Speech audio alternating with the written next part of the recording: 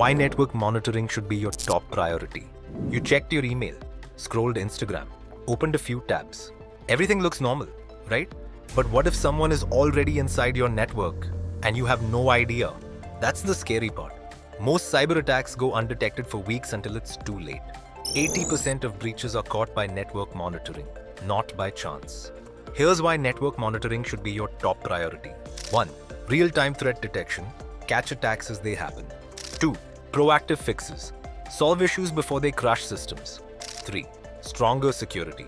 Stay one step ahead of attackers. Want to actually learn how to monitor a real network? Detect intrusions? Stop live attacks? Then you need to join our NSS, Network Security Specialist program. This course is more than theory. It's real-time training in network monitoring, firewall deployment, SIEM tools like Splunk, threat detection techniques, and career support that actually helps you get hired.